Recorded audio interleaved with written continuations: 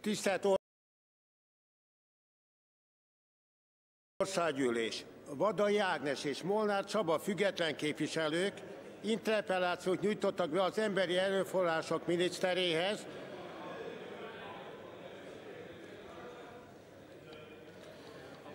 Tisztelt képviselőtársaim! Szeretném felhívni az önök figyelmét arra a házszabályi rendelkezésre, amely havonta egyszer lehetővé teszi a független képviselők számára interpelláció elmondását. Úgyhogy előről kezdem. Tisztelt képviselőtársaim! A levezető elnök házszabályi kötelessége lehetővé tenni az interpelláció elmondását. Előre is felszólítom önöket a türelem erényének gyakorlására. Vadai Ágnes és Molnár Csaba független képviselők interpellációt nyújtottak be az emberi erőforrások miniszteréhez nyilas alap tanterv címmel. Molnár Csaba képviselő urat illeti a szó. Köszönöm a szót, tisztelt elnök úr, tisztelt országgyűlés. Kicsit jobban örültünk volna, hogyha Hoffman államtitkár asszony válaszolna, hiszen a felelősségi kör szerint a Nemzeti Alaptanterv ügyében ez az ő dolga lenne, de úgy néz ki államtitkár asszony ezt a megmérettetést nem vállalja, ezért államtitkár úrhoz fordulunk. Államtitkár úr, a kormány nem olyan régen közzétette a Nemzeti Alaptantervet, amelynek itt és most a magyar nyelv és irodalom fejezete kapcsán szeretném önt kérdezni. Az első, amin az irodalmat nem hivatásszerűen kutató, csak laikus, irodalombarát olvasó elgondolkodik, hogy ugyan mi indokolhatta az alaptantervben Nyírő József vagy Vas Albert szerepeltetését. Vajon miért kívánja a kormány kötelező jelleggel előírni, hogy az iskolákban tanítsák ezeknek a szerzőknek a műveit, annak ellen ellenére, hogy mindketten köztudottan antiszemiták voltak, szélsőséges, nyilas nézeteiket egyébként annak idején ők maguk sem titkolták. Tisztelt államtitkár úr, én azok közé tartozom, akik úgy gondolják, hogy el lehet és el is kell választani egymástól az alkotó személyiségét és magát az alkotást.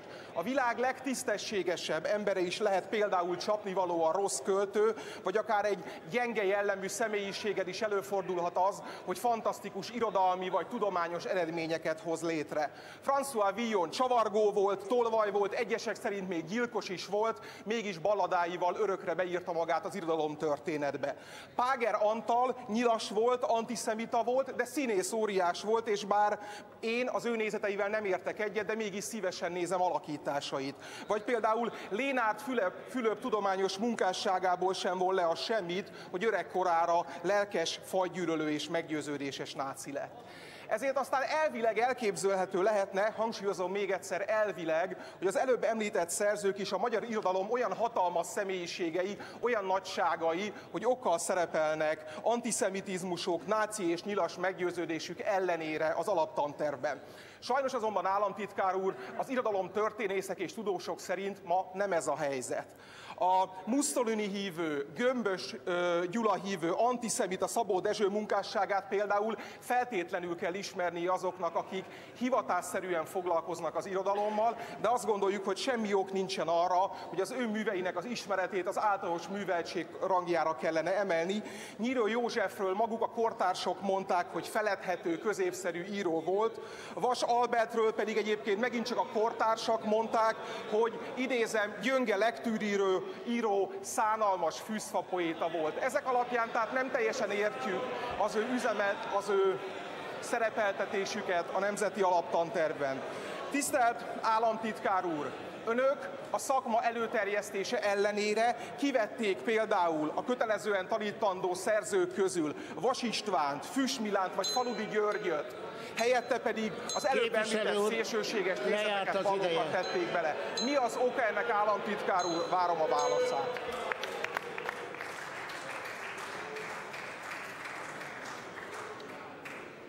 Megadom a szót válaszadásra Halász János államtitkár úrnak. Köszönöm szépen a szót, tisztelt elnök úr, tisztelt ház, tisztelt képviselő úr. Nyilas-e az alaptanterv? Teszi fel a kérdést két képviselőtársunk. Kérik továbbá, hogy válaszommal tegyek nyilatkozatot és nyugtassam meg a közvéleményt.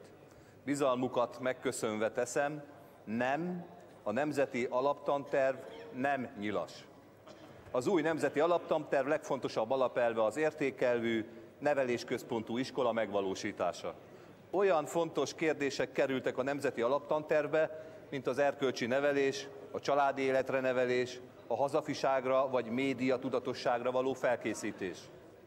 A közműveltségi tartalmak olyan komplex rendszerének az összeállítására került sor, mely lefedi azt, amit ma alapműveltségnek tekintünk.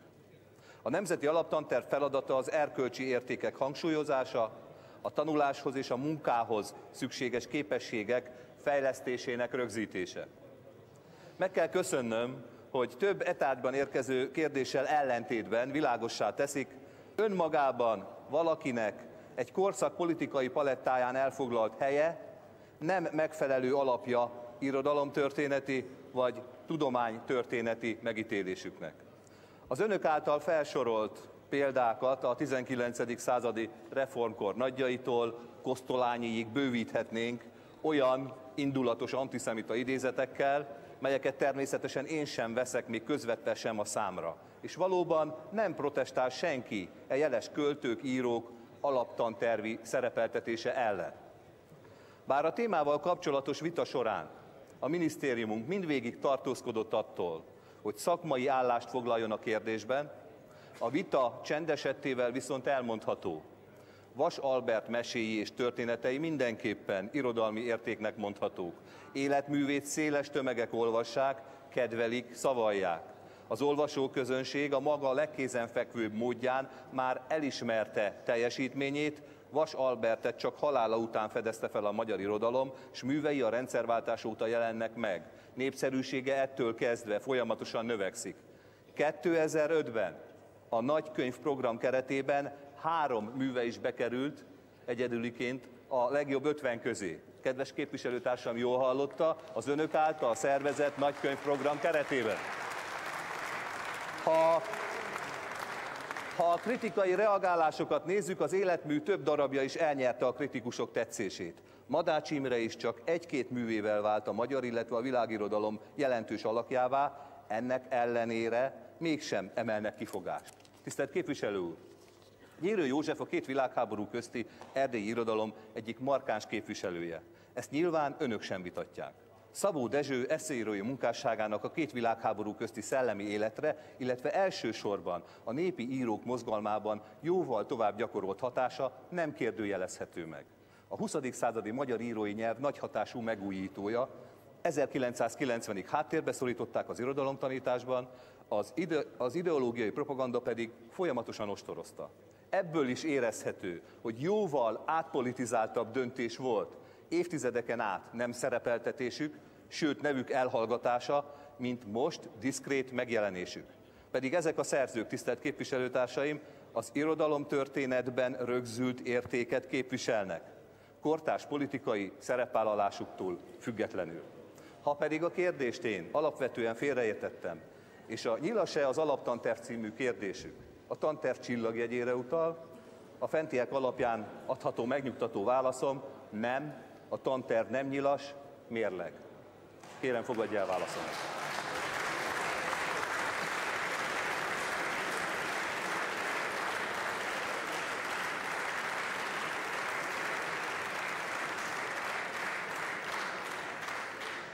Megkérdezem a kérdés feltevő képviselőket, elfogadják a választ, megadom a szót, megadom a szót Vadai Ágnes képviselőasszonynak.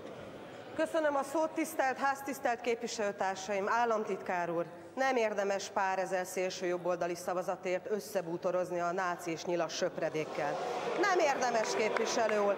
És ezt kérem értesse meg a mögött, az önmögött ülő Hoffman Rózsa államtitkár asszonynal is, aki a 13. kerület egyik gimnáziumát vezette hosszú éveken keresztül.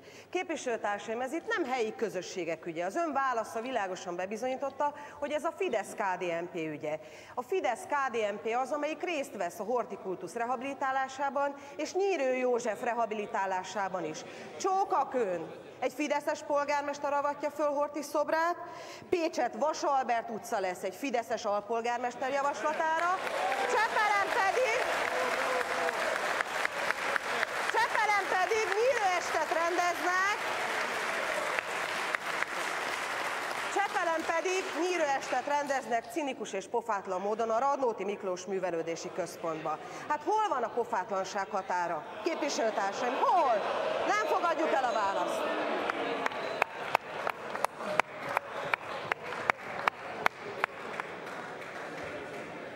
Kérdezem a tisztelt országgyűlést, elfogadja-e az államtitkár úr válaszát? Kérem, szavazzanak!